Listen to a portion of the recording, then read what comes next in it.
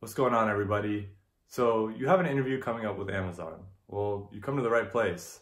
I've gone through the entire Amazon interview process, not once, but twice. I've also had fun interviews with Amazon on two other occasions, and I did an internship with Amazon, which is kind of like half of an interview because you do an online assessment and a phone interview. So it's not as rigorous as going for a full-time spot. So the Amazon interview process is going to be pretty standard for all engineers. So you're going to have your initial call with your recruiter and they're going to set you up for a 45 minute to one hour phone interview. And if you pass the phone interview, you're going to be invited to an on-site interview, which is going to be four to five back-to-back interviews. So I have my call with the recruiter and he lets me know about the position and he says that it's a SDE1, which is sophomore software development engineer one. Um, which is the entry level software engineer for Amazon. Now, SDE ones are kind of rare because they're generally reserved for their interns who get return offers. So it's kind of rare to see an opening just for a straight up SDE1. Usually it's going to be SDE2 and above.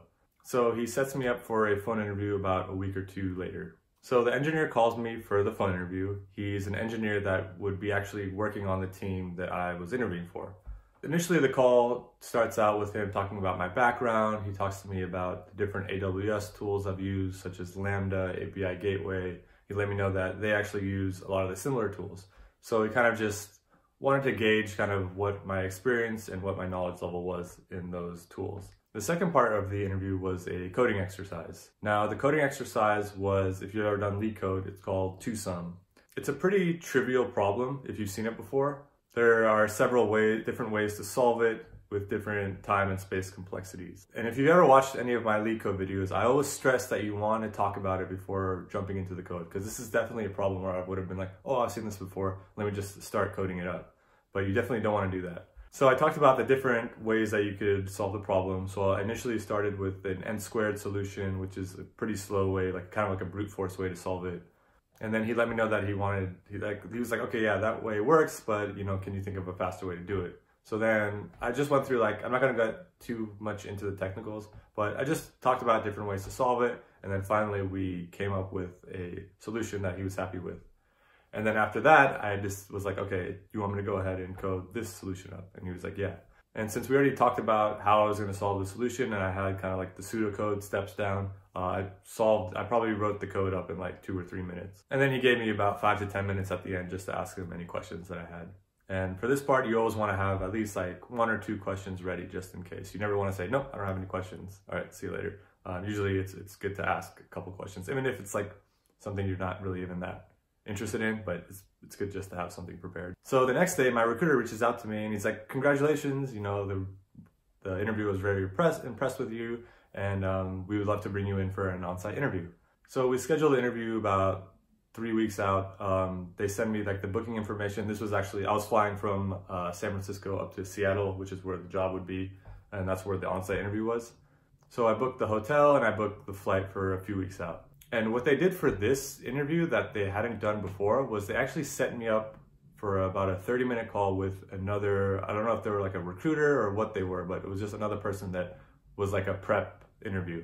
And this interview was actually super helpful because she went through every single interview that I had and she was like, okay, you're interviewing with this person at this time. This is the topics that they're going to cover.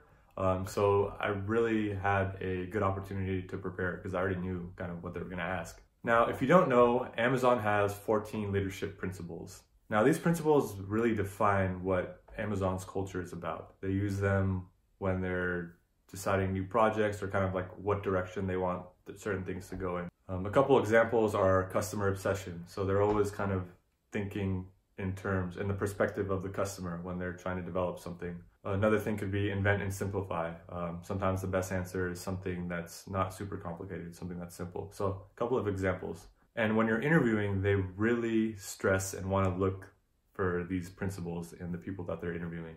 They want to make sure that the person would be a good cultural fit for the company.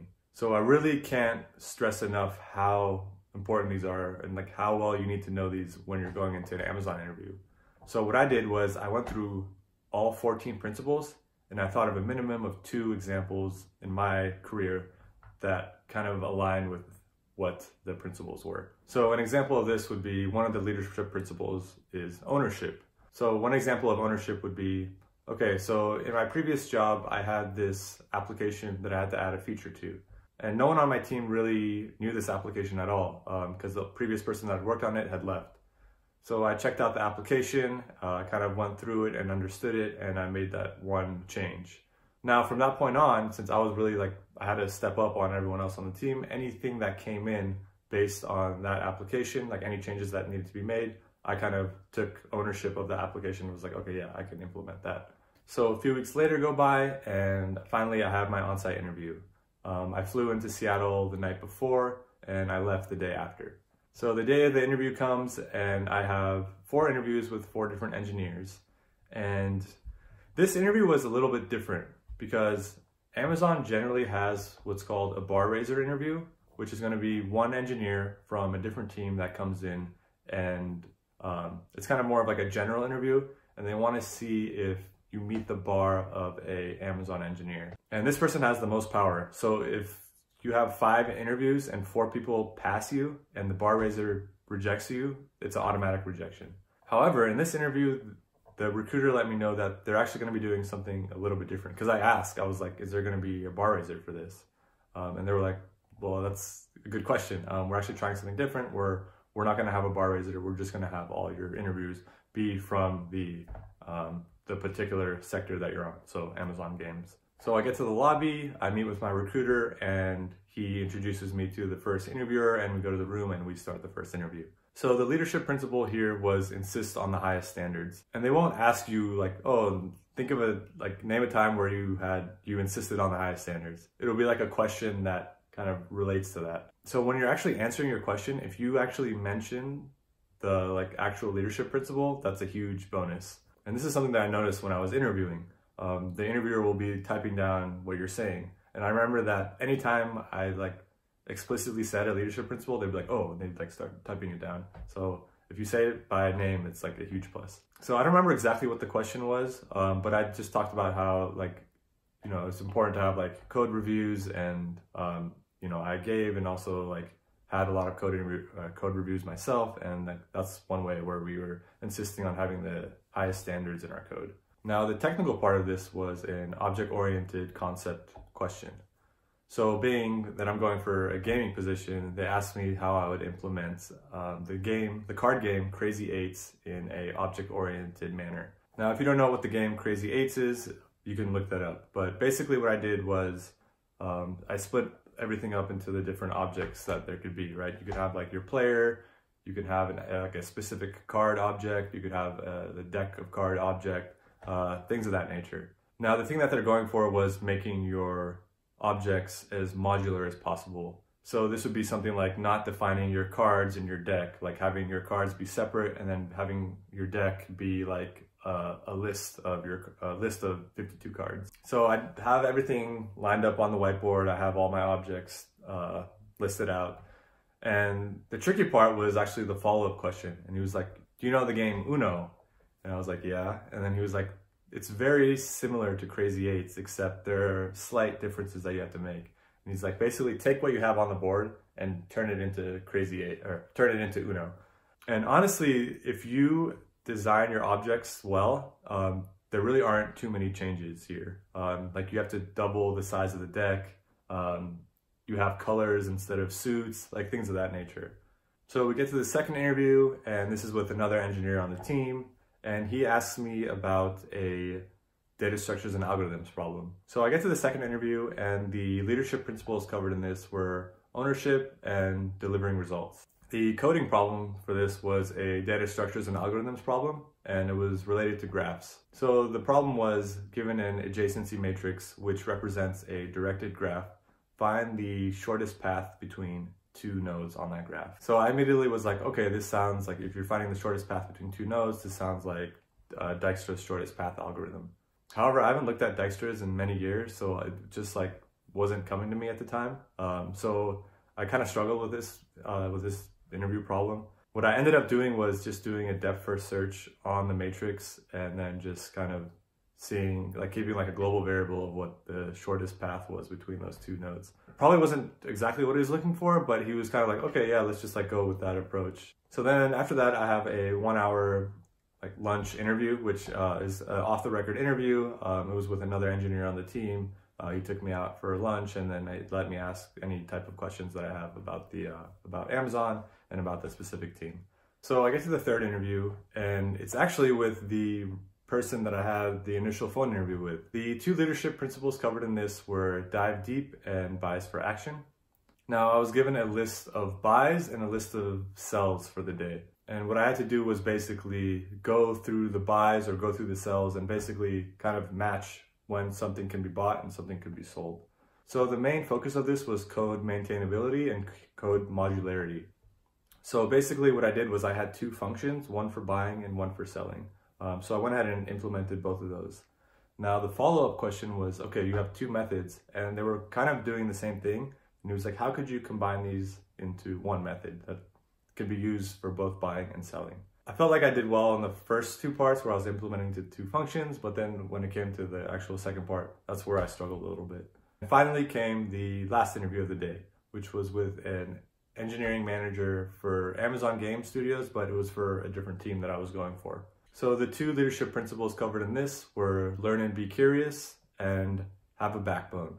So the behavioral question that he gave me was basically name a time where you had to, a disagreement with your manager and kind of how you pushed back on what he was what he wanted to do. So my answer for this was at my previous job we had an application that we were supporting. Um, however, it was running on Microsoft Silverlight and it only runs on Internet Explorer. So what I proposed was doing a rewrite of this that would be, you know, work across all browsers. And my manager was like, well, you know, yeah, we that is important, but um, you know, it's not really one of our priorities right now. And I kind of pushed back and I was like, well, it only runs on IE. So if you have a Mac and you're running Safari, you can't run it. Um, you have to like uh, install an older version of Mozilla, which introduces security risks. So I think that it's a high priority and it's something that we do need to work on.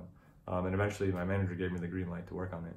So the second part of the interview was a coding question. And the question was, given a size of a lake, you have rocks within that lake, and you're basically starting at the beginning of the lake and you're trying to get to the end of the lake. And you can only jump in increments of two and five. So, and you can jump forwards or backwards. And he's like, basically code out a way to see if it's possible to get from one side of the lake to the other, only jumping on those rocks. So what I did was I actually drew out a recursion tree and I was like, okay, if you start here, like you could go two steps or you could go five steps, this is where you end up. And I kind of like branched it out. And I think that's something that he really liked. So after I had the recursion tree, I wrote out, I was like, do you want me to write pseudocode? He's like, no, just jump straight into the code. So I went ahead and implemented the code there. At that point, it was like four or five hours in and I was like pretty exhausted. I felt like I could have gone a little bit faster, um, but I mean, I, you know, at that point, it's like if you can get like a working solution, then that's good enough. Because there were a couple parts where he was like there were improvements that I could have made within the code, and I just like wasn't seeing it. Even though it was algorithmically correct, um, there were like some optimizations that I wasn't able to figure out. But uh, overall, I think that was probably the best interview that I had. So afterwards, I would say I was kind of like 50-50 on whether I thought I was going to get an offer or not. So about a week later, the recruiter follows up with me and he's like, I have some news and it's probably not the news that you want to hear, but it's not like the worst news. So he actually told me about the meeting that was discussing my application. And he was like, basically it was split right down the middle. He was like, a couple of the engineers kind of like weren't sure. A couple of them wanted you. So since it was kind of split, they didn't want to really take a chance in hiring someone that eventually wouldn't be a good fit. So they decided to reject me as a software development engineer. And he was like, however, we would like to offer you the position of a support engineer. So he sent over kind of the job description of what a support engineer was. And to be honest, I was not really feeling it. The position was more about like, it was more like an IT position where like if something was wrong, a ticket would come in and you would kind of have to figure out what's going on there. But it wasn't like a development position which is what I was going for. Ultimately, I decided to turn down the position and the recruiter, he understood, but he was like, let's reconnect in six months and let's, you know, see if there's anything available for you. So overall, it was a good experience. Um, the recruiter was very responsive. Um, everyone that I interviewed with was very smart, very professional, you know, and I, I tried my best. So I don't really have any regrets about the interview. Um, I already had a position lined up. So it was kind of a bonus if I, if I did get it. All right, and that's all I have for you guys in this video. Thanks for watching. Uh, please like and subscribe. If you have any questions or comments about what was, maybe if you want me to get more uh, into detail about what was asked, just leave it down in the comments below and I'll do my best to try and answer. But other than that, that's all I have for you guys. Uh, hopefully you guys enjoyed the video and I will see you guys next time.